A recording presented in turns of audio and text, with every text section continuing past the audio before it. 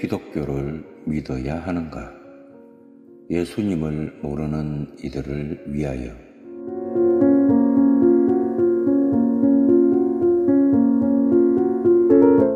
세상에는 종교가 많이 있습니다. 그래서 조금은 혼동됩니다. 그리고 사람이 반드시 종교를 가져야 하는가 라고 생각하는 분도 있고 어떤 이들은 종교를 하나의 인생 수양의 방편으로 생각하는 분도 있습니다. 그래서 여러 종교를 번갈아 가면서 믿는 분도 있고 동시에 여러 가지 종교를 믿는 분도 있습니다. 또 도무지 종교를 갖지 않는 사람도 있습니다. 진리는 언제나 하나밖에 없는 법입니다. 여기도 저기도 진리가 있다고 말하는 사람은 진리의 절대성을 모르는 사람입니다. 진리가 있다면 상대적으로 진리 아닌 것들도 있게 마련입니다. 그런데 훈련받지 못한 사람, 즉 자연인에게는 진리가 아닌 것이 진리보다 더 찬란해 보이고 더욱 요란스럽습니다. 보석을 보아도 진짜 다이아몬드보다 가짜 다이아몬드가 더욱 번쩍이는 것이 사실입니다. 종교도 마찬가지입니다. 세상에는 종교단체라는 이름을 가진 무리들이 많습니다. 저마다 진리라고 합니다. 사실대로 말한다면 사람들이 종교를 갖고자 하는 이유는 수양의 방편으로서가 아니라 사람은 원래가 하나님의 형상으로 만들어졌으므로 하나님을 알 만한 것이 그 속에 있는데 죄로 인하여 자기 스스로의 힘으로는 조물주 하나님을 찾아갈 능력을 상실했습니다. 그래서 사람들은 이것저것 궁리하여 이런 종교도 믿어보고 저런 종교도 가져봅니다. 그러나 참다운 종교에 이르지 못합니다. 사람들은 영혼이 갈급하여 여기저기를 방황합니다. 라디오의 다이얼을 제대로 맞추지 못하면 바른 방송을 들을 수 없습니다. 그런데 바른 다이얼을 돌리게 하는 것은 바로 하나님이 하시는 일입니다. 우리 힘으로는 바른 다이얼을 돌릴 수 없다는 것입니다. 사람이 제 힘으로 바른 하나님을 찾을 수 없다는 말입니다. 종교란 무엇입니까?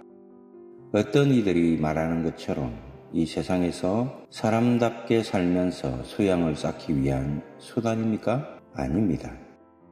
물론 공자의 가르침인 유교의 사서오경이나 불가의 불경은 모두 철학으로서 사람의 수양에 어느 정도 도움을 줍니다. 그러나 사람에게는 수양보다 더 중요한 것이 있습니다. 수양을 쌓지 못하는 이유는 좋은 책을 읽지 못해서가 아니라 마음이 완악하기 때문입니다. 사람은 나면서부터 악하게 태어납니다. 선하게 태어나는데 환경이 나빠서 악해지는 것이 아니라는 말입니다. 가령 햇볕이 내려 쪼이는 같은 땅에 두 그루의 나무가 나란히 서 있다고 가정합시다. 한 나무는 열매를 잘 맺는데 다른 나무는 열매를 맺지 않습니다. 왜 이런 차이가 생깁니까? 열매를 맺지 못하는 나무는 그 뿌리가 나쁘기 때문입니다. 사람도 마찬가지입니다. 인간 마음의 변화가 일어나기 전에는 좋은 수양을 쌓을 수 없습니다. 인간이 금수같이 행동하여 이웃에게 해를 끼치는 것은 모두 뿌리, 즉 인간의 마음이 나빠서 그런 것입니다. 마음이 나쁘다는 말은 인간의 마음이 죄로 인하여 타락했다는 말입니다. 그러므로 죄의 문제를 해결하는 것이 관건입니다. 마음이 새로워져야 하는데 마음이 새로워지는 길은 불가의 불경이나 유교의 사소오경 또 어떤 명작 수양 서적을 읽어서 되어지는 것이 아닙니다. 마틴 루트라는 분은 많은 책을 읽은 학자이지만 그 마음속에서 일어나는 죄의식을 걷잡을 수 없었더라는 것입니다. 그러자 어느 날 스칼라 상크타를 쏘고 바람으로 오르내리다가 사람이 의로워지는 것은 이런 일, 즉 인간의 노력이나 고행을 해서 되어지는 것이 아니고 예수님을 믿는 믿음으로 가능해지는 것을 깨달았습니다. 그때부터 그는 새 사람이 되었습니다. 성경 로마서 1장 17절이 그의 눈을 뜨게 만들었습니다. 유명한 프랑스의 수학자이며 철학가인 파스칼은 사람의 마음속에는 하나님만이 채워줄 수 있는 큰 구멍이 있다라고 말했습니다. 인간은 동물들이 갖지 못한 영혼을 갖고 있습니다. 그 영혼은 하나님을 사모하도록 지음을 받았습니다. 그 영혼은 하나님이 주신 것이기 때문입니다. 그 영혼은 불멸입니다. 영혼은 결코 없어지지 않습니다. 하나님이 주신 그 영혼은 죽을 때 하나님에게로 돌아갑니다. 몸은 흙으로 되었으니 흙으로 돌아갈 수밖에 없습니다. 그러나 그 몸은 죽어서 땅에 묻혔다가 예수님이 다시 오시는 날, 이 세상이 불로 심판받는데 심판날에는 그 몸이 다시 부활되어 영원한 형벌에 들어가든지 아니면 영원한 축복의 세계에 들어가게 됩니다. 요한복음 5장 24절로 28절입니다. 내가 진실로 진실로 너희에게 이르노니 내 말을 듣고 또 나 보내신 이를 믿는 자는 영생을 얻었고 심판에 이르지 아니하나니 사망에서 생명으로 옮겼느니라. 진실로 진실로 너희에게 이르노니 죽은 자들이 하나님의 아들의 음성을 들을 때가 오나니 곧 이때라. 듣는 자는 살아나리라. 아버지께서 자기 속에 생명이 있음같이 아들에게도 생명을 주어 그 속에 있게 하셨고 또 인자됨으로 말미암아 심판하는 권한을 주셨느니라. 이를 놀랍게 여기지 말라. 무덤 속에 있는 자가 다 그의 음성을 들을 때가 오나니. 아멘. 그러므로 우리 몸도 소중합니다. 몸을 학대해서는 안 됩니다. 우리 육신도 영혼만큼 소중합니다. 하나님의 형상으로 지음을 받은 인생은 인격이 있고 인격의 3대 요소는 지, 정, 그리고 의로 되었습니다. 인류의 조상인 아담이 타락한 후 우리의 인격, 즉 지, 정, 의가 모두 타락해서 하나님을 버리고 자기 멋대로 살아가고 자기 자신의 유익을 위해서 자기 자신을 판단의 기준으로 하여 살아가고 있는 것입니다. 사람은 자신의 판단의 기준이 될 수 없습니다. 이유는 자신도 오류를 범할 수 있는 불완전한 인간이기 때문입니다. 그러므로 종교란 사람이 사람답게 살도록 수양을 쌓는 그런 차원을 넘어서 사람이 영원히 사느냐 혹은 영원히 죽느냐 하는 가장 심각한 문제를 해결해주는 열쇠입니다.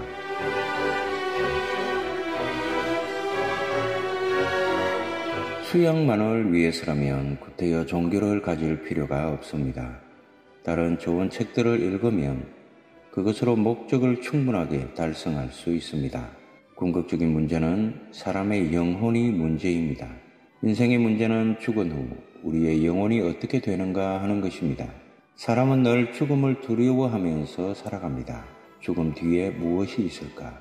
사람들은 이 문제를 해결하려고 철학도 연구해보고 역학도 연구하지만 엉뚱한 곳에서 그런 중대한 문제의 해답을 얻을 수는 없습니다.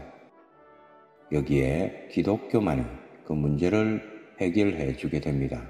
여러분 이것을 아십니까? 다른 어떠한 종교도 인간이 어디서 왔는지 혹은 어떻게 시험을 받았는지를 말해주는 종교가 없습니다. 유대교와 기독교 뿐입니다. 그러나 유대교는 예수님이 메시아 구세주, 바로 그분인 것을 모르고 배척하며 예수님을 믿지 않습니다. 그들이 바라는 메시아는 세상적으로 말해서 강력한 맹장이나 명장을 꿈꾸고 있습니다. 그래서 유대의 나라를 로마의 침략으로부터 보호해줄 그런 강력한 장군을 생각하는 것입니다. 그러기에 유대인들은 십자가에서 로마 병정들의 손에 운명하시는 예수님을 구세주로 믿지 못하는 것입니다. 그러나 세상의 종말이 다가오면서 유대인들 중에도 상당히 많은 사람들이 예수님이 과연 구약 성경에서 예언했던 메시아, 바로 그분인 것을 깨닫고 예수님에게 돌아오는 사람들이 해마다 늘어가고 있는 것은 퍽 다행한 일이라 하겠습니다. 그들은 Jesus for Jews라는 전도 기관을 만들어서 예수님을 구세주로 믿으며 예배해 드립니다. 그 수가 매년 늘어갑니다.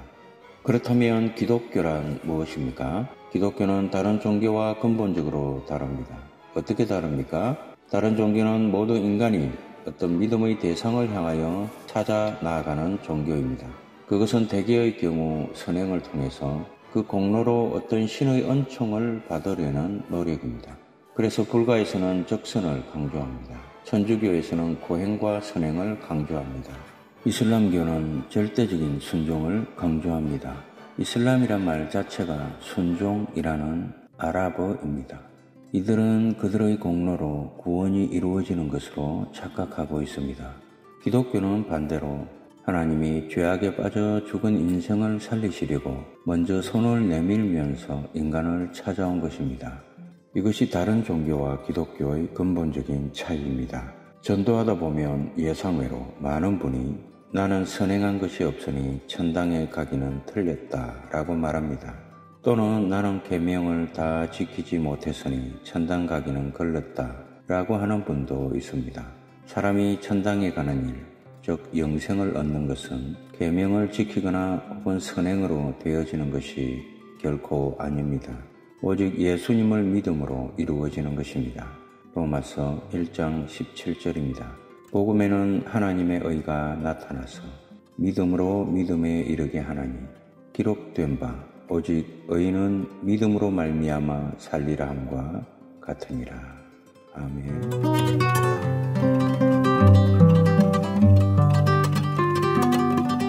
에베소서 2장 8절입니다. 너희는 그 은혜에 의하여 믿음으로 말미암아 구원을 받았으니 이것은 너희에게서 난 것이 아니요 하나님의 선물이라. 아멘. 성경은 로마서 10장 10절에 사람이 마음으로 믿어 의에 이르고 입으로 시인하여 구원에 이른다고 했습니다. 그런데 로마서 10장 17절에서 믿음이란 들음에서 나고 들음은 그리스도의 말씀, 즉 성경에서 난다고 했으니 전도해야 하고 전도하여 다른 사람에게 구원의 도리를 들려주어야 할 책임이 먼저 믿는 사람에게 있는 것입니다. 기독교는 처음에 나는 하나님 앞에서 완전하지 못한 죄인이다란 겸손한 태도에서 출발합니다. 성경이 사람은 모두 절대 완전하신 하나님 앞에서 부족한 죄인인 것을 말해줍니다. 그런데 죄란 말은 참으로 심각하고 무서운 말입니다. 죄란 하나님의 완전한 법에 이르지 못하는 것을 말합니다. 죄를 원어에서는 하마르티아라고 하는데 그 말의 의미가 바로 하나님의 말씀을 관역으로 비유한다면 그 관역을 맞추지 못하는 것을 말합니다. 그런데 죄란 아주 무서운 것으로 죄의 값은 죽음이라고 성경이 가르쳐 줍니다. 로마서 6장 23절. 그러므로 아주 심각한 문제가 아닐 수 없습니다. 죄는 죽음을 요구합니다. 죄를 지은 죄인은 죽어야 합니다. 이것이 하나님의 법도입니다. 사람은 모두 죄인입니다. 죄를 지어서 죄인이 아니고 죄인이기 때문에 죄를 짓지 않을 수 없는 것이 인간입니다. 그 아득한 에덴 동산에서 아담이 죄를 지은 것이 나와 무슨 상관이 있는가? 나는 죄가 없다. 라고 한다면 그것은 착각입니다. 모든 인류의 조상은 한 사람 아담인데 그분이 죄를 지어 죄인이 되었기 때문에 그의 후손들인 인류는 한 사람도 예외 없이 모두 죄인입니다. 죄의 대가는 죽음입니다. 이것이 하나님의 법입니다. 그렇기 때문에 그리스도가 우리를 대신하여 죽어 주신 것입니다.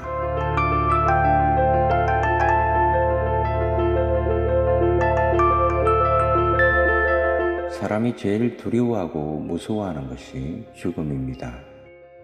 사람이 병을 앓거나 어떤 사고를 당하여 생명이 위험할 때는 반드시 죽음을 두려워합니다. 죽음은 인생의 가장 큰 걱정거리이고 불안의 원인입니다. 사람이 죽음을 두려워하지 않을 수 있다면 얼마나 축복된 사람이겠습니까? 얼마나 부러운 사람입니까? 인생은 태어나서부터 삶을 마칠 때까지 늘 불안, 초조, 공포 속에 살아가는데 그 근본적인 원인은 바로 죽음이며 죽음의 원인은 바로 죄라는 것입니다. 어떻게 하면 우리가 죽음의 공포에서 해방될 수 있을까요? 죽음의 공포와 불안에서 해방되는 방법이 있습니다. 예수님을 믿음으로 가능해집니다. 왜 그럴까요? 그분은 하나님 바로 그분이신데 우리로 하여금 죄에서 해방되어 죄에 대한 두려움이 없고 따라서 마음의 평화를 누리게 하시고 영원히 살 수 있는 길을 열어주시기 위하여 오신 분입니다. 성경 요한복음 14장 27절에는 평안을 너희에게 끼치노니 곧 나의 평안을 너희에게 주노라. 내가 너희에게 주는 것은 세상이 주는 것 같지 아니하니라. 너희는 마음에 근심도 말고 두려워하지도 말라. 아멘. 예수님이 이렇게 친히 말씀하셨습니다. 진정한 마음의 평화는 예수님을 믿을 때 오게 됩니다. 그분은 평강의 왕으로 오신 분입니다.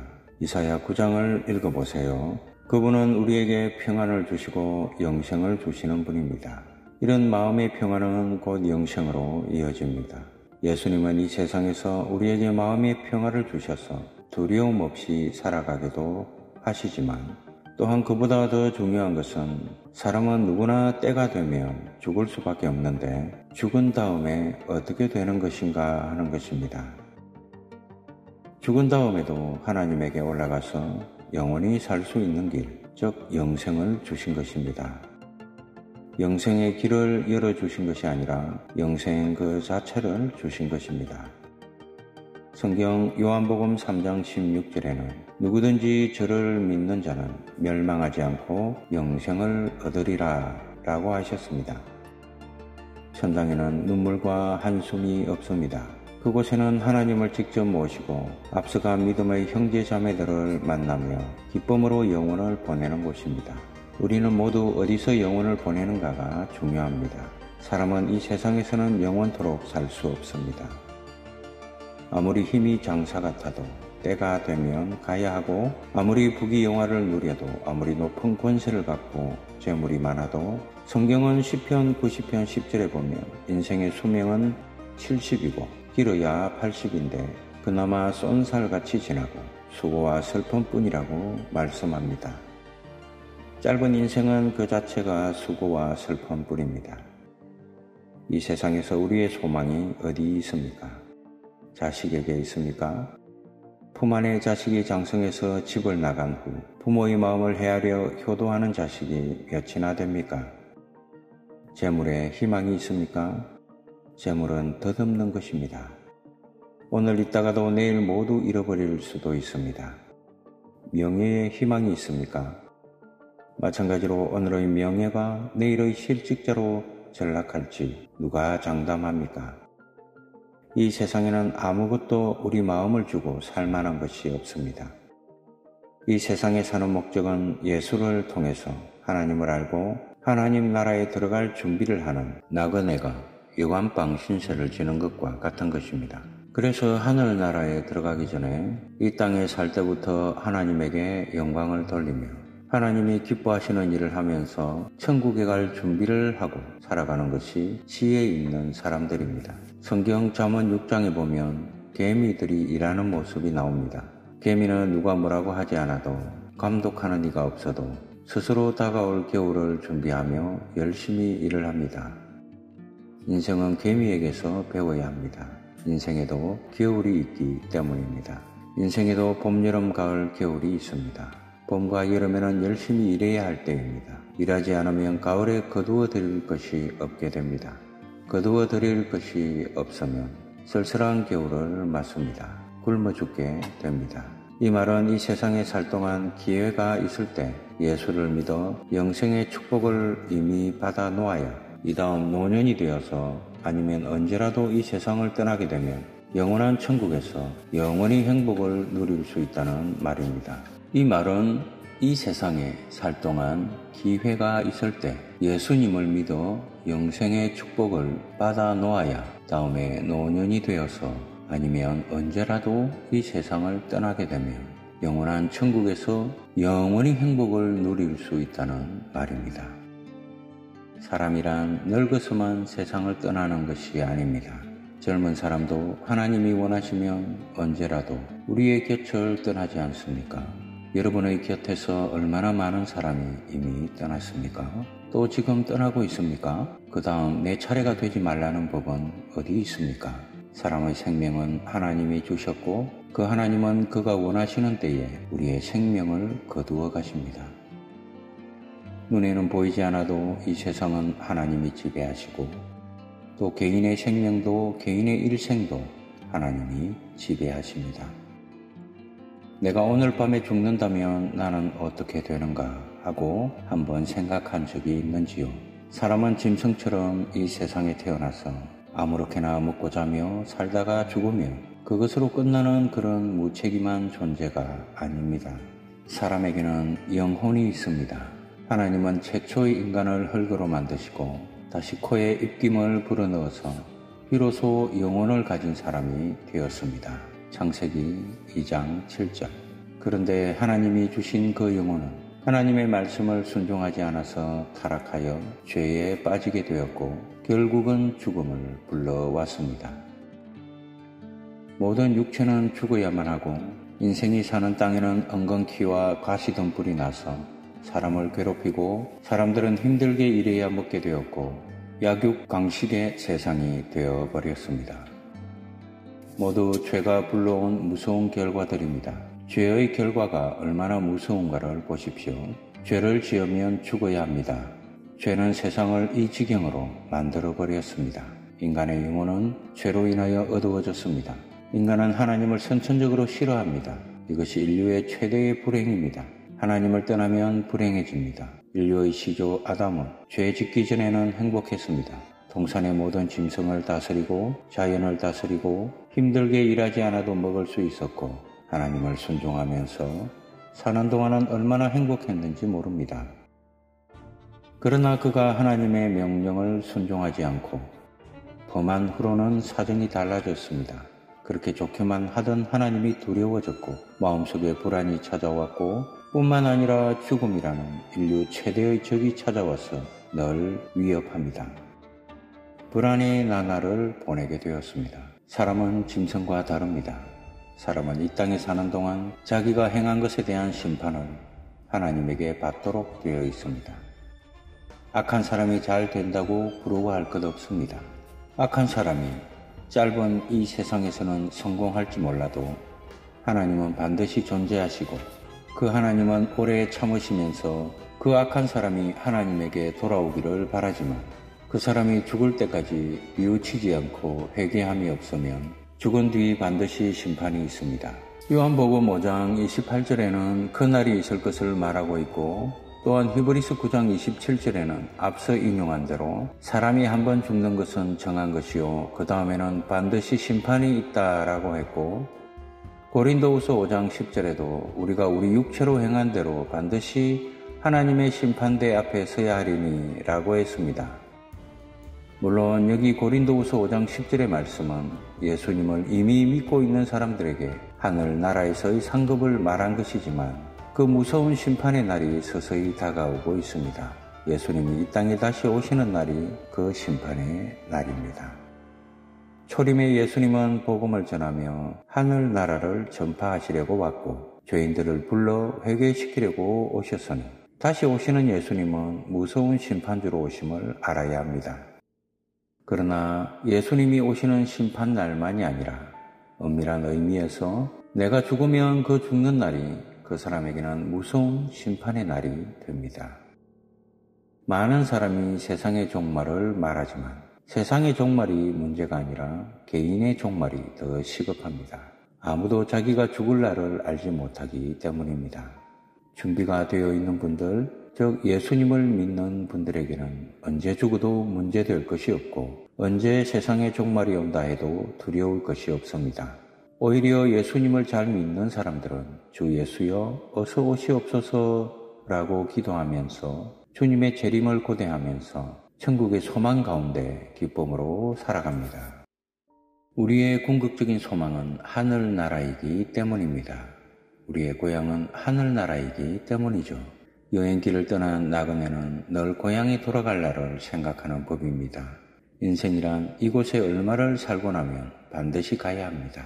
돌아갈 고향이 없는 사람은 얼마나 불쌍합니까? 저녁 노을이 붉게 물드는데 낙엽이 한 입 두 입 소리 없이 떨어지는 공원의 벤치에 앉아서 물끄러미 서산에 넘어가는 해를 바라보는 노숙하는 사람을 본 적이 있습니까? 모두 여기서 열심히 주어진 인생을 60년이건 80년이건 살다가 하던 일을 고스란히 둔 채로 갈 수밖에 없는 것이 인생입니다. 세상에서 부귀영화를 누리며 일선의 영달을 위해 살았어도 갈 때는 그 모든 부귀영화를 가지고 갈 수도 없어 무척 외롭게 떠납니다. 친구도 친척도 자식들도 동행해 주지 못하는 무척 외로운 나그네 길입니다. 세상 살아가는데 급히 해야 할 일들이 많이 있지만 갈 준비를 하는 일은 무엇보다 가장 시급한 일입니다. 사람은 누구나 생명에 대한 애착이 있습니다. 불치의 병에 걸린 사람에게 올바른 진단을 해주고 처방약을 주어도 건강하다고 고집한다면 그 사람의 결국이 어떻게 될까요? 세상 사람들도 이와 같습니다. 우리를 영원한 지옥의 고통으로 인도하는 죄 문제를 신앙으로 해결하시라고 간절히 전도하며 모두 싫어합니다. 아담 이후의 모든 사람은 누구나 처음에는 하나님을 싫어합니다. 하나님 없이 혼자 살 수 있을 것처럼 교만해집니다. 사실 따지고 보면 예수님을 믿지 못하는 이유는 자기 속에 도사리고 있는 교만한 마음 때문입니다. 스스로가 똑똑하여 자기가 하나님보다 낫다는 식의 사고 방식입니다. 그러기에 성경은 십자가의 도가 멸망하는 자에게는 미련스럽게 보이지만 구원을 얻는 우리에게는 하나님의 능력이라고 고린도전서 1장 18절에서 말하고 있는 것입니다.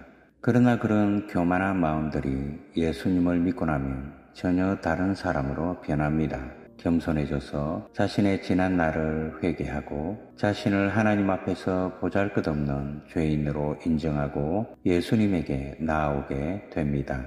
그것은 하나님이 하시는 일입니다. 생각해 보십시오. 그렇게도 완악한 내 마음을 내가 마음대로 통제할 수 있다고 생각하십니까? 아닙니다. 사람은 언제나 하나님을 싫어합니다. 하나님은 내가 어려울 때 잠시 도움을 받는 마술사 정도로 생각하고 있습니다. 그런 사람이 전혀 달라지고 자신의 부족함을 느끼고 하나님을 위해 살려는 마음이 생기는 것은 우연도 아니고 스스로 힘으로 되어지는 것도 아니고 순전히 하나님이 하시는 일입니다. 성경은 모든 사람이 하나같이 죄인으로 치우쳐서 죽었던 사람들인데 사랑이 많은 하나님이 창세전에 그의 기쁘신 뜻대로 지옥에서 건져 주시고 싶은 사람들을 택해서 예수님을 믿을 마음을 주셨다고 가르쳐 줍니다. 여기에 기적이 있고 하나님의 참 사랑이 있습니다. 에베소서 2장 1절로 8절입니다. 그는 허물과 죄로 죽었던 너희를 살리셨도다. 그때 너희는 그 가운데서 행하여 이 세상 풍조를 따르고 공중의 권세 잡은 자를 따랐으니 곧 지금 불순종의 아들들 가운데서 역사하는 영이라. 전에는 우리도 다 그 가운데서 우리 육체의 욕심을 따라 지내며 육체와 마음에 원하는 것을 하여 다른 이들과 같이 본질상 진노의 자녀이었더니 긍휼이 풍성하신 하나님이 우리를 사랑하신 그 큰 사랑을 인하여 허물로 죽은 우리를 그리스도와 함께 살리셨고 너희는 은혜로 구원을 받은 것이라 또 함께 일으키사 그리스도 예수 안에서 함께 하늘에 앉히시니 이는 그리스도 예수 안에서 우리에게 자비하심으로써 그 은혜의 지극히 풍성함을 오는 여러 세대에 나타내려 하심이라. 너희는 그 은혜에 의하여 믿음으로 말미암아 구원을 받았으니 이것은 너희에게서 난 것이 아니요 하나님의 선물이라. 아멘. 하나님의 사랑을 깨닫고 나면 세상이 달라집니다. 지금까지 쓰고 다니던 금은 색안경을 벗어버렸으니 모든 것이 다르게 보일 수밖에 없습니다. 사람은 모두 검은 색안경을 쓰고 다니기 때문에 모든 것은 검게 보일 수밖에 없는 것입니다. 그래서 성경은 고린도후서 5장 17절에 이전 것은 지나갔으니 새로운 피조물이라 라고 하신 것입니다. 이전에 좋아 보이던 것이 이제는 가치가 없는 것으로 전락하고 이전에 우습게 보이던 신앙, 교회, 예수님 한없이 영광스럽게 보이고 한없이 감격스러워 보이는 것입니다. 그래서 바울이라는 사람은 공부도 많이 했고 유대교를 열심히 믿는 사람으로 예수님을 믿는 사람들을 몹시 핍박했지만 나중에 부활하신 예수님으로부터 부르심을 받고 완전히 새 사람이 되어 빌립보스 3장 8절 이하에서 말하기를 또한 모든 것을 해로 여김은 내 주 그리스도 예수를 아는 지식이 가장 고상하기 때문이라. 내가 그를 위하여 모든 것을 잃어버리고 배설물로 여김은 그리스도를 얻고 그 안에서 발견되려 함이니. 아멘. 라고 말한 것입니다. 그가 그렇게 소중하게 여기던 유대교의 유전들을 버리고 또한 그의 귀한 유대교의 학문을 버리는 일, 어느 누구보다 많이 배운 그의 지식으로 인한 그의 자긍심을 버리는 것은 누구나 할 수 있는 일이 아니며 바울 선생 혼자의 힘으로 할 수 있었던 일이 결코 아닙니다. 하나님이 그에게 그런 마음을 주셔서 그렇게 사람을 변화시켜 버린 것입니다. 이런 변화는 우리의 힘으로 되어지지 않습니다. 그것은 우리 마음속에서 새로 나게 하시는 성령님이 인도하심으로 이루어지는 것입니다. 이것이 얼마나 엄청난 일이며 얼마나 감사한 일입니까? 왜냐하면 모태로부터 태어난 생일을 맞는 것보다 더 큰 감격을 주기 때문입니다. 모태에서 태어난 몸은 예수님을 알지 못하고 살아가다가 70년, 80년을 살고 죽으면 그것으로 끝나고 그 사람은 지옥에서 영원토록 고생하게 되지만 예수님을 알고 난 후에는 언제 어떻게 죽어도 영원한 천국에 올라가서 하나님과 함께 영원히 살 수 있는 특권이 주어진 것이니 자기의 생일보다 더 귀하고 기쁜 날이 된다는 말입니다. 사람들은 좀처럼 마음을 열지 않습니다. 무당이 푸닥거리하는 곳에 가서는 정말 신이 있는가 보다라고 악령의 존재를 수긍하면서도 그 반대인 진리의 영이신 하나님의 존재는 믿지 않으려고 합니다. 악령이 있으면 진리의 영도 있는 것이 아닙니까? 그것은 이상할 것이 없고 극히 당연합니다. 그 이유는 사람은 타락하여 본질상 하나님의 진노의 자녀가 되어 하나님에 관한 것은 싫어하고 하나님과 반대가 되는 악령에는 관심이 많습니다. 그것은 인간의 마음이 원래 악하게 태어나기 때문이고 이런 악한 마음이 예수를 믿어야 선한 마음으로 변해지는 것입니다. 사람은 성령으로 새롭게 되는데 그 성령이란 바로 예수님의 영이며 또한 하나님의 영인 것입니다. 정말 하나님이 계실까요? 많은 사람이 묻습니다. 누가 천국에 가본 것도 아닌데 라고 회의주의자들이 말합니다. 사람은 어떻게 해서든지 예수님을 믿지 않으려고 온갖 궤변을 토로합니다. 사람은 무엇이든 눈으로 보아야 믿고 손으로 만져야 믿습니다. 극히 합리주의적입니다. 예수님의 제자 중에 도마라는 사람이 있었는데 상당히 교만하고 회의적이어서 예수님이 죽었다가 살아나신 사실을 믿으려 하지 않았습니다. 그런데 어느 날 살아나신 예수님이 종전과 같은 모습으로 제자들 앞에 나타나셨고 그때 도마도 그 자리에 있었습니다. 예수님은 내가 죽었다가 살아난 것을 내가 믿지 못하니 내 손에 못자국을 만져보며 내 옆구리를 만져보아라 라고 말씀하셨습니다. 의심이 많던 도마는 주님의 손과 발의 못자국을 만져보고는 즉시 놀라 엎드려서 절하면서 오 나의 왕 나의 주시여 라고 했습니다. 이때 예수님은 그의 어깨에 손을 얹어 놓으시고 도마야 너는 나를 본 거로 믿지만 나를 보지 못하고 믿는 자가 복이 있으리라 라고 말씀하셨는데 이 말씀을 들었던 도마는 더 이상 하나님이 계셔서 그 하나님이 예수님을 죽은 지 사흘 만에 살리신 것을 조금도 의심 없이 믿고 나가서 과감히 전도했습니다. 그는 인도에까지 가서 전도하다가 거기서 순교했습니다. 정말 하나님이 계실까요? 시카고에는 유명한 무디 성경 학교가 있어서 수많은 목회자를 배출했습니다. 그 학교에 스티븐 보드 박사라는 정신과 의사가 교수로 있었습니다. 그분은 교통사고나 심장마비로 갑자기 죽은 사람들을 연구한 분으로 유명한데 사람이 죽었다고 하여 의사가 사망 진단서를 쓰고 유가족에게 알리고 장례식을 준비하는데 그 죽었던 사람이 나중에 살아납니다. 이상한 일입니다. 이런 일들이 여러 번 생기니 스티븐 보드 박사가 이들을 대상으로 연구하기 시작한 것입니다. 죽었다가 깨어난 환자들에게 그는 어떻게 된 것이냐고 물었습니다. 죽었던 사람들은 하나같이 말합니다. 어떤 분은 천사에게 이끌려 너무도 좋은 곳에 갔는데 마음이 얼마나 기쁜지 말로 형용할 수 없고 그곳이 어디인지는 몰라도 이름 모를 꽃들이 만발하였는데 그 꽃들의 색깔은 여러 가지인데 파란 것은 이 세상에서 볼 수 없으리만큼 파랗고 붉은 것은 역시 이 세상에서는 어디를 가도 볼 수 없으리만큼 붉고 노란색도 그러하고 모든 것이 아주 색조가 짙었다는 것입니다. 참으로 떠나오고 싶지 않은데 어떻게 다시 와서 보니 몸의 통증을 지금 많이 느낀다는 것입니다. 스티븐 보드 박사는 모든 환자의 진술을 그대로 적었습니다. 그런가 하면 어떤 이들은 어디인가는 모르는데 어느 곳에 갔더니 아주 마음이 답답하고 앞이 캄캄하며 무엇이든 내 뜻대로 할 수 없고 누군가가 나를 억누르는 것 같은 답답한 경험을 하다가 이곳에 돌아오니 몸에 통증은 있어도 훨씬 이 세상이 더욱 좋다고 하는 분들도 있었습니다. 스티븐 보드 박사는 양편의 진술을 모두 글로 적어서 나중에 책으로 펴냈는데 그 책의 이름이 What do the dying see? 죽는 사람은 무엇을 보는가 라는 영문판입니다. 이 책자는 불과 30페이지밖에 되지 않는 적은 팜플렛이지만 실제로 경험했던 사람들의 이야기를 기록한 책입니다. 요즘에는 죽었다가 살아났다는 사람들이 너무 많습니다. 그래서 이런 말들이 조심스럽습니다. 남미 브라질의 펄시 콜레라는 사람이 천당에 가보았다고 하여 내가 본 천국이란 책을 지어서 판 적도 있지만 그런 책과는 다릅니다. 콜레는 나중에 사기로 판명되었습니다.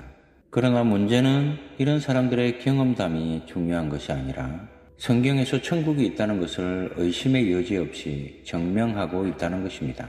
예수님은 하나님 바로 그분이신데 거짓말을 할 수 없으신 분입니다. 그 예수님은 누가복음 16장에서 부자와 거지 나사로의 이야기를 하시면서 천당과 지옥이 분명히 존재함을 가르쳐 주고 계십니다. 지옥은 불신자들이나 예수를 믿어도 근성으로 믿으며 참다운 회개가 없는 사람, 예수님을 마음으로 믿지 않고 형식으로 믿는 사람들을 위하여 예비되어 있습니다. 천국은 예수님을 믿어서 자기의 죄를 용서함 받은 사람들, 거짓이 아닌 진정으로 회개하고 진정으로 기독교를 믿는 사람들을 위하여 예비된 곳입니다. 예수님은 요한복음 14장 2절과 3절에서 내 아버지 집에 거할 곳이 많도다. 그렇지 않으면 너희에게 일렀으리라. 내가 너희를 위하여 거처를 예비하러 가노니. 예수님은 요한복음 14장 2절과 3절에서 내 아버지 집에 거할 곳이 많도다. 그렇지 않으면 너희에게 일렀으리라. 내가 너희를 위하여 거처를 예비하러 가노니 가서 너희를 위하여 거처를 예비하면 내가 다시 와서 너희를 내게로 영접하여 나 있는 곳에 너희도 있게 하리라. 아멘. 이렇게 친히 말씀하시어 우리에게 영생의 약속을 주셨습니다. 예수님은 이 땅에서 십자가에서 죽으시고 살아나시어 지금은 하나님의 오른편 보좌에 앉아 계십니다. 예수님을 믿는 사람은 죽으면 아니면 죽기 전이라도 예수님이 다시 이 세상의 심판주이십니다. 예수님을 믿으면 영원한 천국에서 영원히 기쁨 속에 살게 됩니다. 지옥과 천당은 과연 있는 것입니까? 하나님은 계신 것입니까? 예. 천당과 지옥이 있는 것은 성경이 증명해 줍니다. 하나님은 계신 것입니까? 예. 역시 성경이 증거해 주십니다. 아니 우리의 양심이나 자연의 이치가 웅변으로 증명해 줍니다. 아무리 무신론자라고 해도 죽을 위기에 처하면 자신도 모르게 하나님이란 말이 입에서 새어 나오게 마련인데 그 이유는 사람은 원래가 하나님을 알 수 있도록 지음을 받았는데 죄악으로 인하여 눈이 멀고 귀가 어두워서 그 하나님을 찾지 못하고 살아가기 때문입니다. 로마서 1장 17절로 19절입니다. 복음에는 하나님의 의가 나타나서 믿음으로 믿음에 이르게 하나니 기록된 바 오직 의인은 믿음으로 말미암아 살리라 함과 같으니라. 하나님의 진노가 불의로 진리를 막는 사람들의 모든 경건하지 않음과 불의에 대하여 하늘로부터 나타나나니 이는 하나님을 알만한 것이 그들 속에 보임이라. 하나님께서 이를 그들에게 보이셨느니라. 아멘. 지옥이든 천당이든 한 번 들어가면 다시 나올 수 없습니다. 영혼을 그곳에서 보내야 합니다. 성경은 누가복음 16장 19절 이하에서 천당과 지옥을 이야기하다가 지옥에 들어간 부자가 이 세상에 형제 다섯이 있는데 그들이 지옥에 들어오지 않도록 정말 지옥이 존재한다는 것을 알려주고 싶으니 본인은 지옥에서 나가지 못한다 해도 천당에 올라가 있는 나사로는 갈 수가 있으니 나사로를 세상에 보내어 지옥과 천당이 있다는 것을 그의 형제들에게 알려달라고 하나님에게 애원하지만 하나님의 대답은 세상에서는 모세와 선지자들에게 들을지니라 라고 했습니다. 세상에는 복음을 전하는 목사가 있고 교회가 있으니 그곳에서 복음을 들을 수 있다는 말입니다. 또한 이 세상과 저 세상은 서로 내왕할 수 없다고 했습니다. 그러므로 요즘 이른바 초자연적인 심령과학을 주도하는 사람들은 잘못된 신앙이라는 것입니다. 천당과 지옥이 실제로 존재하는 것이 사실이고 사람은 누구나 그 두 군데 중 어느 하나에 가서 영원히 살 수 있도록 되어 있고 어느 누구도 예외가 될 수 없다면 무엇이 가장 시급합니까? 사업보다 친구보다 가정보다 자식보다 가장 귀하고 시급한 것은 예수님을 믿는 일, 즉 기독교를 믿는 일입니다. 그렇기 때문에 전도서 12장 1절에는 공고한 날이 오기 전에 조물주를 기억하라고 경고해 주십니다. 다른 종교는 사람이 노력하여 그 대가로 그 공로로 무엇인가 축복을 받는다고 하지만 사람의 공로로 얻어지는 종교는 얼마나 형이하학적입니까? 사람은 스스로의 힘으로 아무것도 할 수 없습니다. 세상의 모든 일은 사람의 뜻대로 이루어지는 것이 아니고 하나님이 계획하신 대로 이루어지는 것입니다.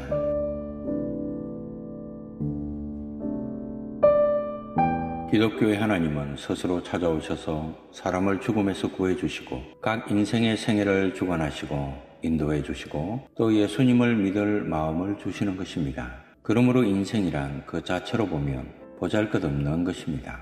그러나 하나님은 그 인생을 귀하게 여기고 영원한 죽음에서 구해 주시기를 원하십니다. 시간과 공간을 초월해 계시는 하나님만이 절대적인 전제 주권을 갖고 인간을 통치하십니다. 하나님은 죄로 인하여 영적으로 죽은 모든 인류 중에서 오직 그의 기쁘신 뜻대로 구원해 주실 사람들을 구원해 주시고 지나칠 사람은 그냥 지나치십니다. 이것은 순전히 하나님의 주권에 속하는 일이기 때문에 인간이 하나님에게 힐문할 수 없는 것입니다. 로마서 9장 18절로 21절을 참고하시기 바랍니다. 그런즉 하나님께서 하고자 하시는 자를 긍휼히 여기시고 하고자 하시는 자를 완악하게 하시느니라. 혹 내가 내게 말하기를 그러면 하나님이 어찌하여 허물하시느냐? 누가 그 뜻을 대적하느냐 하리니? 이 사람아 내가 누구이기에 감히 하나님께 반문하느냐? 지음을 받은 물건이 지은 자에게 어찌 나를 이같이 만들었느냐 말하겠느냐? 토기장이가 진흙 한 덩이로 하나는 귀히 썰 그릇을 하나는 천히 썰 그릇을 만들 권한이 없느냐? 아멘 기독교는 타율적 종교이며 이 세상의 다른 모든 종교는 자율적 종교입니다. 이것이 근본적으로 기독교와 다른 수많은 종교의 차이점입니다. 물에 빠진 사람에게 지나가던 사람들은 여러 가지로 제 나름대로 한마디씩 말을 건네고 갑니다. 어떤 이는 좀 더 조심했더라면 빠지지 않았을 것을 이렇게 말합니다.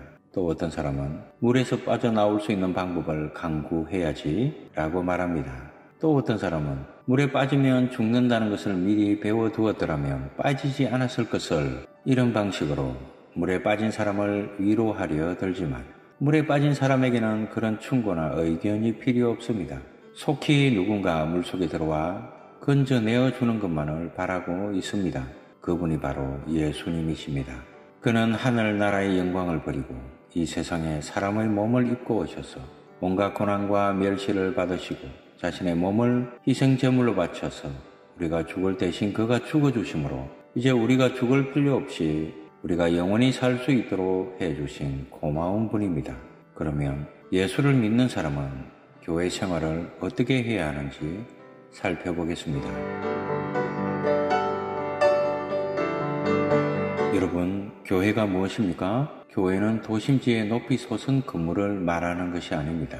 교회는 예수님을 생명의 구세주로 믿는 사람들, 즉 예수님을 믿는 사람들을 통틀어서 교회라고 하는 것입니다. 그러므로 비록 웅장한 건물 속에서 예배를 드리지 못하고 토굴 속에서 예배를 드린다고 해도 그곳이 바로 교회이며 반면에 아무리 화려한 건물 안에서 예배를 드려도 하나님의 영광을 드러내지 않고 사람이 영광을 받는다거나 하나님이 성경에서 가르치지 않은 다른 방법으로 예배를 드리며 그것은 사람의 사교 집단일지는 몰라도 예배는 아닙니다. 에베소서라는 책은 교회가 무엇인지를 설명해주는 성경책입니다. 1장에서 3장까지는 교회가 무엇인지 교리적으로 설명해주고 4장에서 6장까지는 예수를 믿는 사람들이 어떻게 살아야 하는가를 설명하고 있습니다. 그래서 초신자들은 에베소서라는 신약 성경을 여러 번 되풀이해서 읽어야 합니다.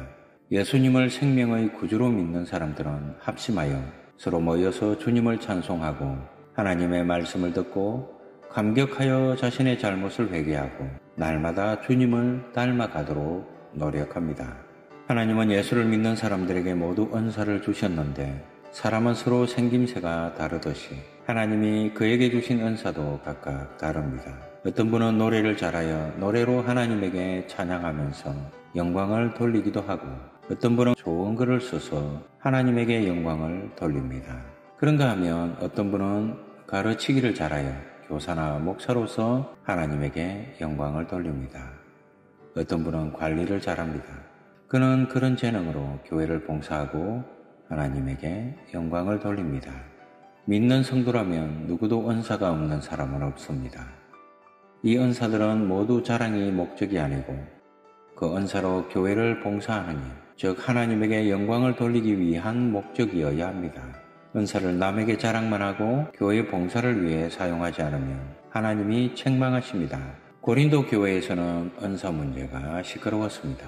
그들은 각자 은사를 자랑만 하고 교회를 위해서 사용하지 않았습니다. 그래서 바울 선생은 고린도 전서를 기록하다가 말고 하나님이 주신 은사를 자랑만 말고 교회를 위하여 쓰지 않으면 아무 소용이 없다. 내가 더 좋은 길을 보여주겠다. 라고 하시면서 고린도전서 13장을 써 나가면서 사랑을 말하고 있습니다.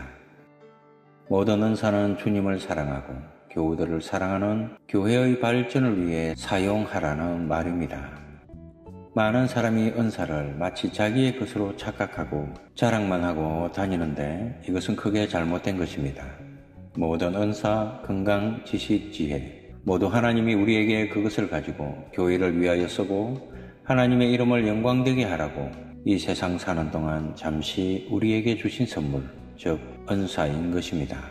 큰 교향 악단에는 여러 가지 악기가 동원됩니다. 드럼만 있어도 안 되고 색스폰만 있어도 안 되며 클라리넷, 비올라, 바이올린만 있어도 안 됩니다.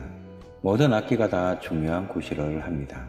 모든 악기가 합하여 웅장한 교향악이 울려 퍼집니다. 마찬가지로 교회의 모든 회원은 각자의 재능으로 멋진 하늘의 교향악을 연주하면서 일생을 살아갑니다. 교회 생활은 어떻게 하는 것입니까? 교회는 예수 그리스도를 믿는 무리들, 즉 세상에서 불러냄을 받은 성도들의 총체라고 말씀드렸습니다. 그리고 그 모든 성도들이 각기 은사가 있다고 말씀드렸습니다. 그 은사는 하나님의 영광을 위하여 교회를 위해서 사용되어야 한다고 말씀드렸습니다. 그런 재능을 결코 사람에게 자랑거리로 삼아서는 안 됩니다. 그렇다면 이런 성도는 앞으로 신앙생활을 어떻게 해야 할까요? 첫째, 교회 출석입니다. 가령 몸에 붙어 있는 왼편 팔이 말하기를 나는 이 몸에 붙어 있기 싫고 나 혼자 넓은 주차장에 있고 싶다고 하면서 몸에서 떨어져 나간다고 가정합시다. 그 결과는 어떻게 될까요? 떨어져 나간 팔은 몸의 생명력을 공급받지 못하니 그대로 말라 죽을 것이고 왼팔을 잃어버린 몸은 얼마나 고통스러울까요? 오른팔이 왼쪽 팔이 하던 일까지 해야 하니 더욱 힘이 들겠고 팔이 붙어 있던 자리는 쑤시고 아플 것이고 아니 그보다 머리가 얼마나 아플까요?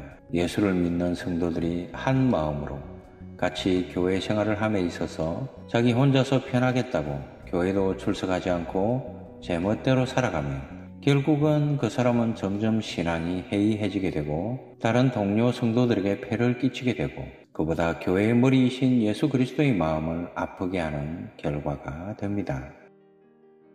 그러므로 성도는 교회에 자주 모여서 서로 위로하고 격려해주고 사랑해주고 아픈 곳을 서로 싸매주고 서로 함께 그리스도 안에서 자라나야 하는 것입니다. 신앙생활이 성장해야 합니다. 어린애가 처음에는 우유로 성장하지만 크면 우유병을 버리고 밥을 먹고 단단한 음식을 먹는 이치와 같습니다. 이렇듯 성장해야 합니다. 이브리서 5장 13절로 14절을 참고하시기 바랍니다. 교회에 출석하는 것으로 반복하지 말고 자신이 성장하여 다른 사람의 지도자가 되도록 하여야 하는데 성장에는 세 가지가 필요합니다. 첫째, 성경을 가까이 하고 성경을 많이 읽어야 합니다. 성경은 하나님의 말씀입니다. 성경에는 구원에 필요한 지식이 모두 들어있고 인간이 하나님 앞에서 어떻게 살아야 하는가를 설명해 주고 있습니다. 성경은 인생의 교과서이며 또한 성도들의 헌법입니다.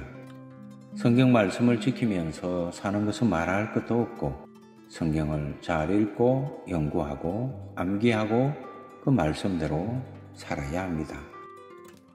성경을 읽으십시오. 성경을 연구하십시오. 젊어서 성경을 되도록 많이 외우십시오. 늙어서 눈이 침침해지면 성경을 읽고 싶어도 읽을 길이 없습니다.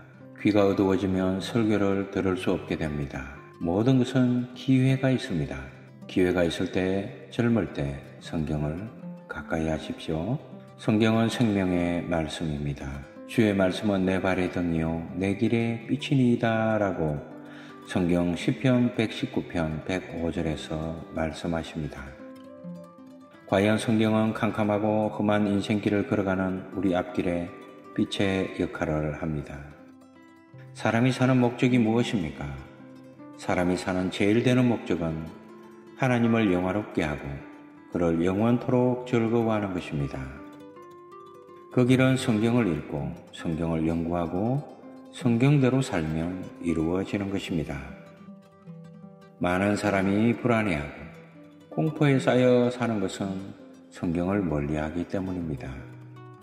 교회는 잘 출석하는데 교회를 나오면 전혀 다른 사람이 되어 불신자와 같이 되어 불신자처럼 생활하는 사이비 신자들이 많습니다. 이들은 예수님을 바로 믿는 사람이 아닙니다. 예수님을 바르게 믿지 않으면 구원도 없습니다. 성경은 신약 요한 1서 3장 9절에 하나님께로 난 자마다 죄를 상습적으로 짓지 아니하나니 이는 하나님의 씨가 그 속에 있으며 아멘 라고 했습니다. 여기서 상습적으로 라는 말은 번역판에는 없지만 원문인 헬라의 문법이 그것을 잘 드러내주고 있습니다. 성경에는 모르는 것이 많습니다. 성경이 왜 어렵냐 하면 자꾸 읽도록 하기 위함입니다. 1년의 계획표를 만들어 놓고 창세기부터 계시록까지 읽어보십시오. 자꾸 읽으면 예전에 몰랐던 것들이 희미하게 혹은 환하게 알려집니다. 성경을 읽지 않고는 신앙이 절대로 성장하지 않습니다. 또 성경을 읽다가 모르는 것은 교회 목사님에게 물어보십시오. 목사님은 성도들의 신앙을 돕기 위하여 신학 공부를 전문적으로 하신 분이고 생활비를 받으시면서 전적으로 성도를 돕는 분이요 믿을 수 있는 분입니다.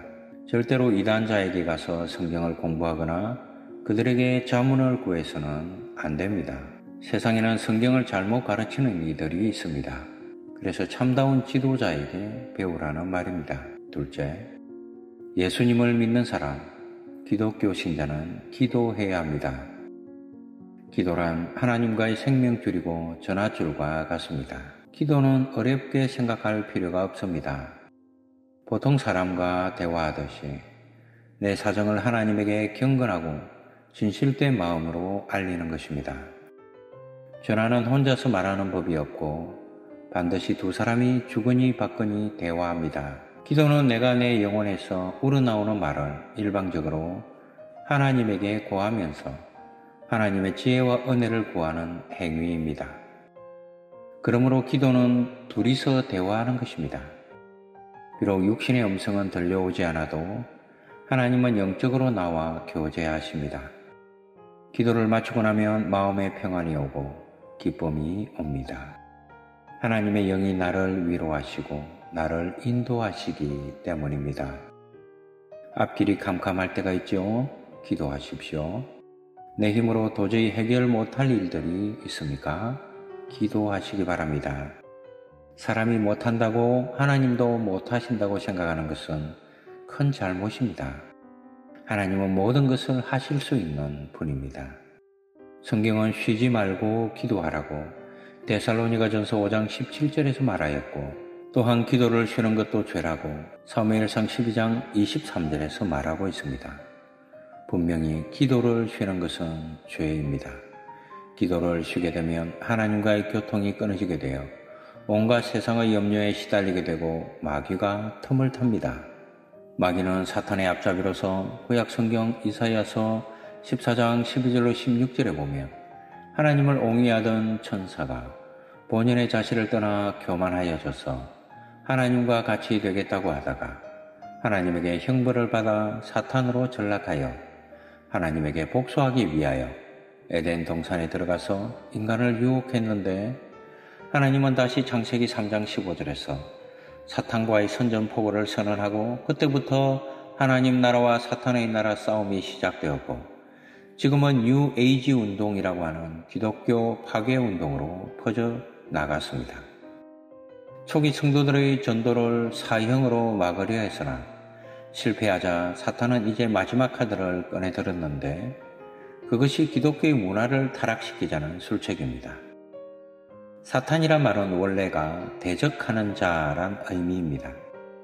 그런 운동은 교회에서 예배에 대한 해이한 의식구조, 하나님은 거룩하고 두려운 분이라기보다는 사랑이 많은 친구라고 하는 안이한 생각, 예배는 하나님을 기쁘게 하는 것보다는 사람들의 마음을 즐겁게 해주는 오락 위주로 서서히 탈바꿈을 해가고 있습니다. 교회는 극장의 무대같이 되어버린 지 오래입니다. 구약 레위기 10장 1절 이하를 보면 하나님에게 예배를 잘못 드리다가 당장 목숨을 잃은 두 사람의 이야기를 기록하고 있는데 제사장 아론의 두 아들이었던 나답과 아비후라는 두 인물입니다. 이들은 하나님이 명하시지 않은 다른 향을 드리다가 다시 말하면 제 멋대로 향불을 올렸다가 하나님의 진노를 사서 그 자리에서 불이 나와서 두 사람이 모두 불에 타서 죽었습니다. 실제로 역사적으로 있었던 일입니다. 무서운 경종입니다. 예배는 자기 멋대로 드려질 수 없습니다. 무엇이든지 성경에서 언급하지 않는 것은 해서는 안 됩니다. 그러나 오늘날 아비우와 나답들은 성경에 금하지 않았으면 해도 된다고 생각합니다.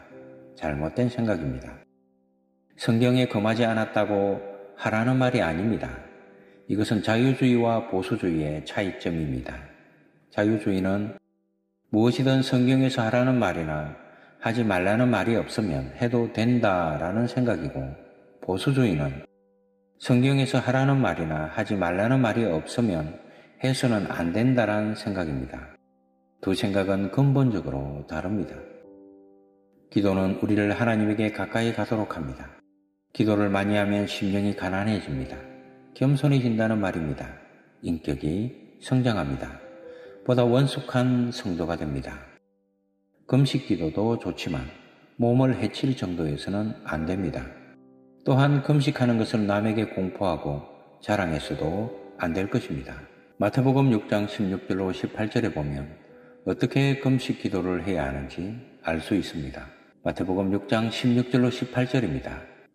금식할 때에 너희는 외식하는 자들과 같이 슬픈 기색을 보이지 말라. 그들은 금식하는 것을 사람에게 보이려고 얼굴을 흉하게 하느니라. 내가 진실로 너희에게 이르노니 그들은 자기 상을 이미 받았느니라. 너는 금식할 때 머리에 기름을 바르고 얼굴을 씻어라. 이는 금식하는 자로 사람에게 보이지 않고 오직 엄밀한 중에 계신 내 아버지께 보이게 하려 함이라. 엄밀한 중에 보시는 내 아버지께서 갚으시리라. 아멘. 또한 같은 말을 자꾸 되풀이하지 말 것입니다. 마태복음 6장 7절입니다. 또 기도할 때에 이방인과 같이 중언, 부언하지 말라. 그들은 말을 많이 하여야 들으실 줄 생각하느니라. 아멘. 하루에 시간을 정해놓고 기도하십시오. 아침에 일어나서 주여 오늘도 주의 아들이 주의 딸이 일어났습니다. 오늘도 나를 만나는 사람들에게 친절히 대할 수 있게 하시고 그들이 나를 통해서 예수님의 빛을 받을 수 있게 하옵시고 하루 해가 차도록 보호해 주옵소서 라고 기도하시기 바랍니다. 그리고 저녁에 잠자리에 들기 전에는 주여 오늘도 하루 해를 은혜 중에 마치게 하시니 감사합니다. 오늘 지은 모든 죄를 용서하옵소서. 그리고 단잠을 잘 수 있도록 이 밤도 주님의 은혜로 감사 주옵소서. 라고 기도하십시오. 자신을 위하여 기도하시고 가족을 위하여 교회를 위하여 교역자를 위하여 성도들을 위하여 나라를 위하여 기도하시고 지금 당면한 문제를 놓고 하나님께 해결해 달라고 기도하시고 또한 지금 전도하고 있는 분들을 위하여 그들이 속히 예수 앞에 나올 수 있게 해 달라고 기도하십시오. 공중 기도는 간단히 2분 혹은 3분 이내로 개인 기도는 1시간도 좋고 2시간도 좋고 철야도 좋습니다. 산기도도 좋습니다. 그러나 디모데전서 5장 8절을 보면 친족을 돌보면서 기도하라고 했습니다. 가족도 돌보지 않고 산기도만 하는 것은 잘못입니다. 누구든지 자기 친족, 특히 자기 가족을 돌보지 아니하면 믿음을 배반한 자요 불신자보다 더 악한 자니라. 아멘. 이 말씀을 기억하십시오. 기도에는 항상 네 가지 요소가 있습니다. 그것을 영어로 ACTS라고 하는데 이는 adoration, 찬양, compassion, 죄의 고백, thanksgiving, 감사, supplication, 강구의 약자로서 첫 번째 찬양이 있어야 하고 두 번째 죄의 고백, 세 번째 구원에 대한 감사, 그리고 끝으로 내가 원하는 강구가 있어야 합니다. 기도할 때는 하나님을 부르고 그의 성호를 찬송하며 자신의 죄를 고백하여 용서를 구한 다음에 주시는 은혜를 감사하며 그리고 자신이 하나님에게 구할 기도의 내용을 하나님에게 아뢰는 것입니다. 이런 네 가지 요소가 모두 있어야 합니다. 자꾸 달라고만 했어도 안 됩니다. 기도는 홍해를 갈라지게 하고 육지가 되게 합니다. 기도는 난공불락의 육중한 여리고성을 무너뜨립니다. 기도는 나라를 위기에서 구출합니다. 기도는 전쟁을 승리로 이끕니다. 기도의 위력을 생각하면서 기도에 많이 힘을 써야 합니다. 하나님은 기도하기 전에 우리의 쓸 것을 미리 아시지만 기도라는 방편을 통해서 우리의 필요를 충족해 주시기를 원하십니다. 야고보서 4장 2절로 3절입니다. 너희는 욕심을 내어도 얻지 못하여 살인하며 시기하여도 능히 취하지 못하므로 다투고 싸우는도다 너희가 얻지 못하면 구하지 아니하기 때문이요 구하여도 받지 못하면 정욕으로 썰리고 잘못 구하기 때문이라 아멘 기도를 하되 하나님의 영광을 위하여 하십시오. 성도의 모든 생활의 기준은 하나님의 영광입니다. 우리는 살아도 주님을 위하여 살고 죽어도 주님을 위하여 죽습니다. 그러므로 우리는 사나 죽으나 주님의 것입니다. 로마서 14장 8절에 나오는 말씀입니다. 기도해야 합니다. 새벽이나 저녁 고요한 시간에 말씀을 묵상하면서 기도하는 습관을 가지십시오. 아침에는 성경, 엽기, 시편, 잠언, 전도서, 아가서 같은 지혜 문서를 펴놓고 몇 절을 읽으면서 이 말씀이 오늘 아침 나에게 무엇을 가르쳐 주는가 하고 생각하면서 기도하고 이렇게 하기를 여러 번 반복하면 머리에 떠오르는 생각이 있습니다. 그 생각을 노트에 적어 두십시오. 이렇게 하기를 한 달만 계속하면 자신이 변하는 모습을 스스로 느낄 수 있습니다. 좋은 신앙 성장의 방법입니다. 세 번째로 전도하는 일입니다. 전도는 주님의 지상 명령입니다.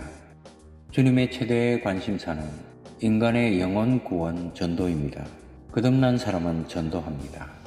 전도할 마음이 생깁니다. 성령을 받은 증거가 무엇입니까? 성령을 받은 증거는 전도하는 것입니다. 사도행전 1장 8절입니다. 오직 성령이 너희에게 임하시면 너희가 권능을 받고 예루살렘과 온 유대와 사마리아와 땅 끝까지 이르러 내 증인이 되리라 하시니라. 아멘. 이 말씀은 주님이 성천하시면서 하신 말씀입니다. 우리말 성경에는 그렇게 기록되어 있지 않습니다. 그러나 원문에서 보면 그런 의미입니다.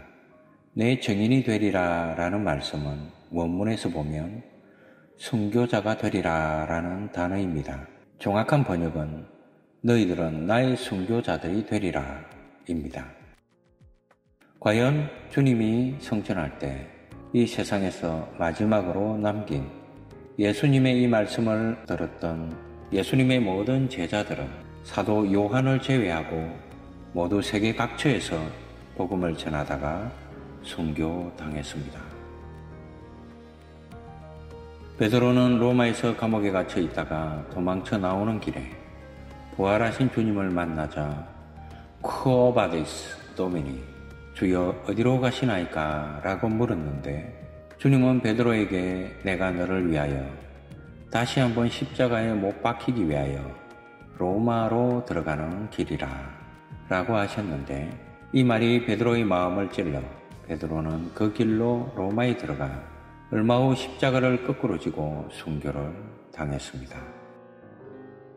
안드레라는 제자는 십자가를 X자 모양으로 지고 순교했습니다.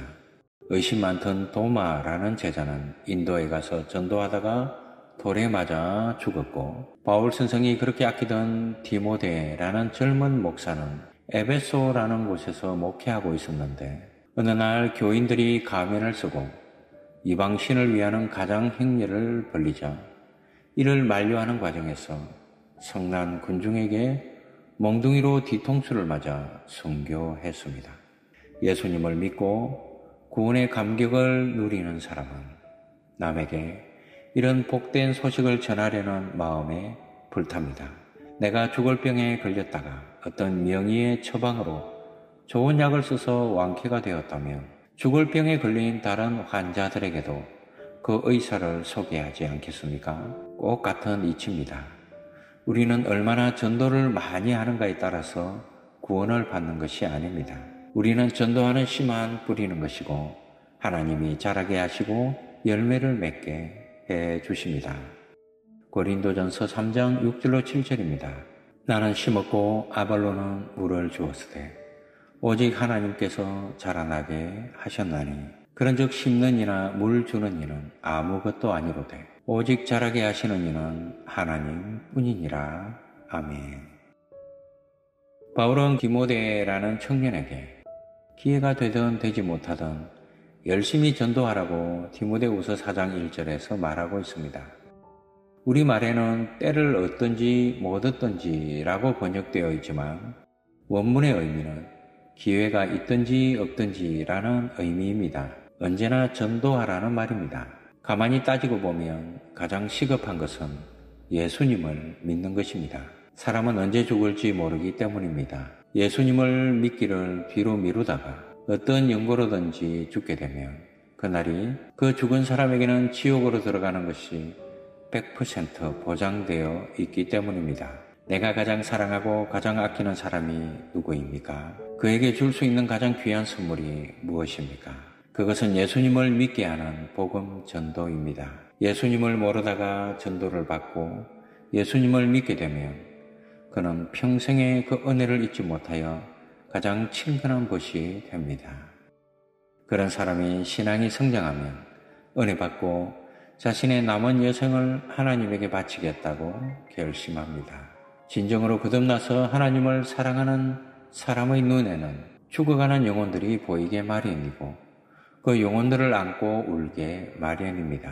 우산장처는 늘 하늘만 쳐다보고 신발 장사는 늘 지나가는 사람들의 신발만 바라봅니다. 거기에 관심이 있기 때문입니다. 예수님을 믿는 성도는 길에 오고 가는 사람들의 영혼을 쳐다봅니다. 저분은 구원을 받은 분인가? 아니면 아직도 구원 얻지 못하고 지옥에 들어갈 사람인가? 이런 것들을 생각합니다. 네 번째로 하나님에게 헌신하는 생활입니다.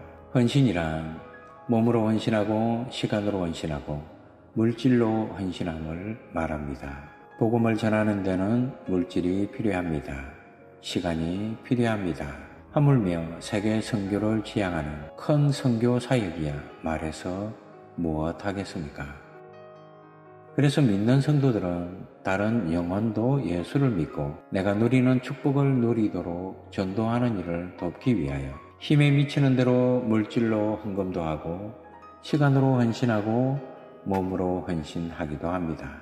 요즘에는 성교가 하나의 유행처럼 되어버려서 성교라는 이름으로 온갖 잘못된 비리들이 많이 성행하여 전도의 도움보다는 병폐가 되는 일들이 많이 있어서 물질적으로, 시간적으로, 육신적으로 헌신할 때 돕고자 하는 성교 기관에 대한 사전 예비 지식을 갖고 성교 현장이나 실제로 사역하는 모습을 잘 주의하여 지켜본 후에 믿을 만한 성교 기관을 도와야 할 것입니다. 성경에서는 우리 수입 중에서 열의 하나를 하나님에게 바치라고 가르치지만 어찌 열의 하나뿐이겠습니까? 구약 시대는 열의 하나를 바쳤습니다. 이스라엘의 열두 지파 중에서 레위 지파 사람들은 전적으로 성전의 일을 전담하여 별도로 수입이 없으므로 다른 열한 지파가 각각 수입의 10분의 1을 헌금하여 그것으로 레위 사람들이 생활하도록 했었습니다. 그러나 신약 시대에 와서는 열의 하나가 아니라 우리 몸, 우리가 갖고 있는 것 전부가 하나님의 것입니다. 그래서 최소한의 생활비로 검소한 생활을 하면서 나머지는 성교에 헌금합니다. 하나님에게 드린 시간과 물질과 헌신은 반드시 하나님을 위하여 하나님의 나라를 위하여 사용되어야 합니다.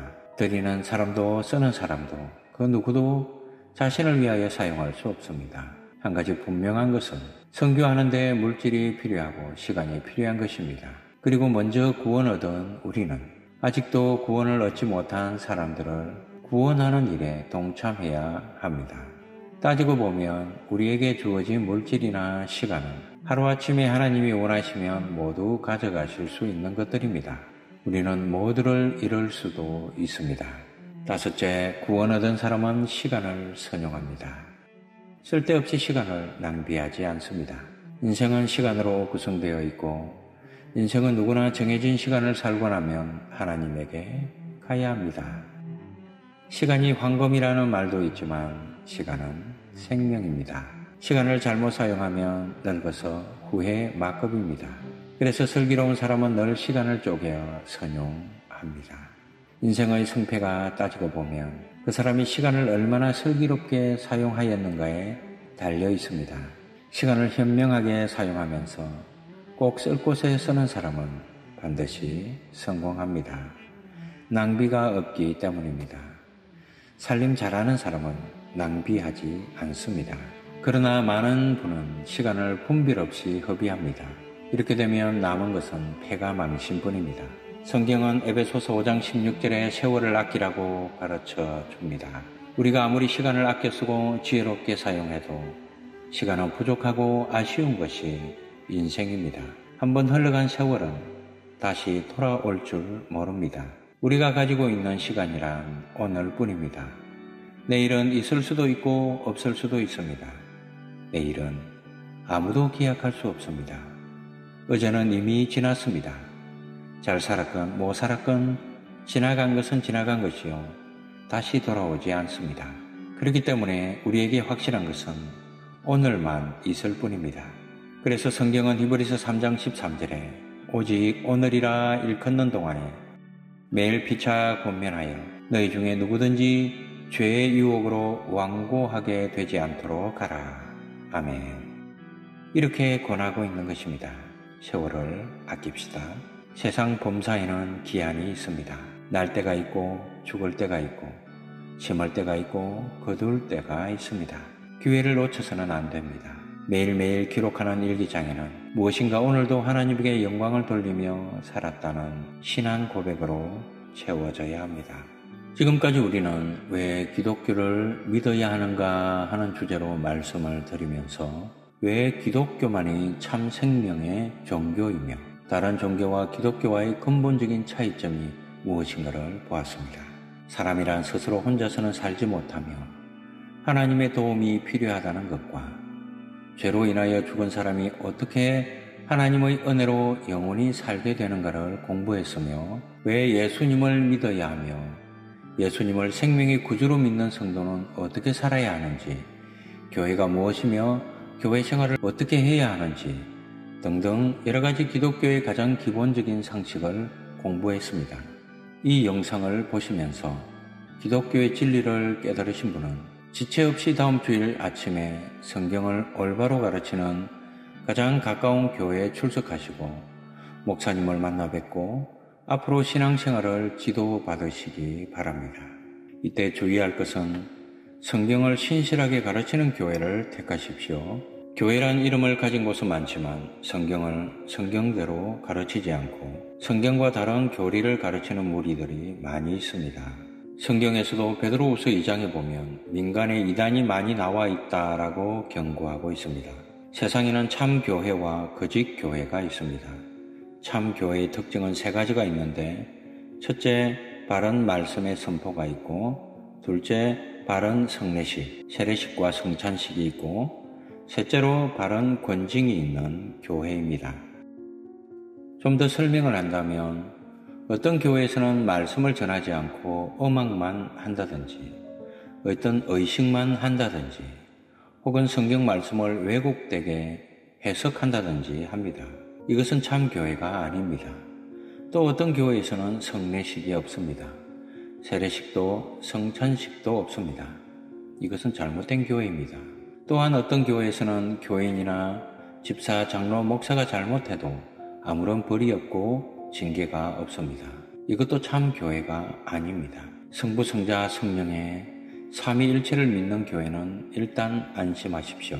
어떤 교회에서는 예수는 하나님이 아니고 인간보다 먼저 태어난 피조물이라고 가르칩니다. 또 어떤 교회에서는 예수님을 하나의 도덕적 성현 군자 정도로 믿습니다. 참다운 구세주로 믿지 않는데 이는 참 교회가 아닙니다. 어떤 교회는 마리아를 숭상하면서 마리아에게 예배하기도 하고 또 천사에게 경배하기도 하는데 이것도 참 교회가 아닙니다. 또한 연옥을 믿는다든지 연보를 많이 하면 그것이 공로가 되어 구원을 얻는다든지 하는 가르침은 비성경적이며 참 교회가 아닙니다. 예수님을 믿고 나면 친구를 따라서 또 교인들을 따라서 혹은 목사님이 하시는 광고를 듣고 부흥 집회에 가게 되는 일이 있게 됩니다. 이때 주의할 점은 옛날과 달라서 요즘엔 건전하지 못한 부흥사가 진짜 부흥사보다 더 많은 형편이어서 주의해야 한다는 것입니다. 어떤 부흥사는 설교하면서 어젯밤 천례하고 교회에서 사택으로 돌아가는데 하늘의 큰 별이 나를 교회에서 집까지 인도하고 사라졌습니다. 라는 웃지 못할 말을 서슴없이 하는 분도 있습니다. 평신도가 성경에 무식한 것을 기회로 이런 거짓말을 강대상에서 하는 거짓 부흥사도 있다는 것을 아시기 바랍니다. 사람은 무엇이 진리이고 무엇이 거짓인지 분별하는 능력이 있어야 합니다. 우리의 지정의가 바로 서야 진리와 비진리를 분별할 능력이 생깁니다. 그러므로 성도는 강대상에서 흘러나오는 설교 말씀이 과연 성경적인가 아니면 사람이 조작한 소리인가를 분간할 수 있어야 한다는 말입니다. 목사가 성경에 어긋나는 말을 해도 아멘이라고 하는 사람은 어리석은 사람이요. 성경에 무식한 사람입니다. 이 시대에 많은 이단이 일시적이나마 성공하는 것은 일반 성도들이 성경을 너무 모르고 성경을 연구하지 아니하므로 성경에 무지하기 때문에 교인들을 우롱할 수 있기 때문입니다. 참신앙은 그런 것이 아닙니다. 이단에게는 공통점 몇 가지가 있는데 대개 이렇게 요약할 수 있습니다. 흥금을 강요하고 지도자가 독재적이며 지도자에게 무조건 복종을 강요하고 지도자의 이성관계가 복잡하고 성경을 제 멋대로 해석합니다. 이런 교회는 반드시 피해야 합니다. 아니면 후에 반드시 빠져나오지 못할 함정에 들어가게 됩니다. 기도하는 중에 좋은 교회를 정하면 말할 수 없는 축복을 받습니다. 교회에 등록하고 목사님의 지도를 바로 받으면 신앙생활의 비약적인 발전을 기할 수 있습니다. 그러기에 바른 교회를 택하는 것이 중요합니다. 만일 교회 생활을 하던 중 교회의 비리가 발견되면 참고 기도해야 합니다. 왜냐하면 이 땅 위에 있는 교회는 어떤 교회라도 완전할 수는 없기 때문입니다. 그러므로 여러 가지 잡음이 있게 마련입니다. 교리에 관계되지 않는 웬만한 일을 그대로 참으시면서 지내야 합니다. 그러나 교회를 반드시 옮겨야 할 때가 있습니다. 목사가 비성경적인 교훈을 할 때, 또한 인격적으로 존경하지 못할 비윤리적인, 비도덕적인 일을 행할 때는 새로운 교회를 찾아야 할 것입니다. 많은 분은 교회는 모두 썩었으니 교회에 출석할 필요가 없다라고 하는 분도 있습니다. 생선 가게에는 썩은 생선도 가끔 있지만 그렇다고 생선 가게에 있는 모든 생선이 썩은 것은 아니듯이 잘못된 교회도 있지만 아직은 바른 교회도 발견할 수 있습니다. 신앙은 인생에 있어서 무엇보다 중요하고 시급합니다. 신앙이란 형태가 많으나 바르게 지켜나가면 반드시 신앙생활에 큰 축복을 받게 됩니다. 내 영혼이 구원을 얻는 일, 영혼이 사는 길을 마련하는 일은 중요합니다. 그리고 긴급합니다. 이제 왜 기독교를 믿어야 하는가라는 질문에 대한 해답을 얻으신 줄 압니다. 아직 예수를 모르시는 분은 다시 한번 인생 문제를 심각하게 진지하게 생각해 보셔서 영생을 보장해 주시는 예수 그리스도에게 나와서 구원을 얻는 기쁨을 누리시기 바랍니다. 이미 예수를 믿으시는 분들은 본 영상을 통해서 여러분의 신앙생활에 더욱 큰 진전이 있기를 바라는 마음 간절합니다. 모든 영광은 하나님에게 올려드립니다. 마지막으로 성경 몇 구절 말씀드립니다. 이사야서 55장 6절로 7절입니다. 너희는 여호와를 만날 만한 때에 찾으라. 가까이 계실 때에 그를 부르라. 악인은 그의 길을 불의한 자는 그의 생각을 버리고 여호와께로 돌아오라. 그리하면 그가 긍휼히 여기시리라. 우리 하나님께로 돌아오라. 그가 너그럽게 용서하시리라. 아멘. 사도행전 4장 12절 말씀입니다. 다른 이로서는 구원을 받을 수 없나니 천하 사람 중에 구원을 받을 만한 다른 이름을 우리에게 주신 일이 없음이라 하였더라. 아멘. 마태복음 16장 26절입니다. 사람이 만일 온 천하를 얻고도 제 목숨을 잃으면 무엇이 유익하리요? 사람이 무엇을 주고 제 목숨과 바꾸겠느냐? 아멘. 고린도후서 6장 2절입니다. 이러시되 내가 은혜 베풀 때에 너에게 듣고 구원의 날에 너를 도왔다 하셨으니 보라 지금은 은혜 받을 만한 때요 보라 지금은 구원의 날이로다. 아멘.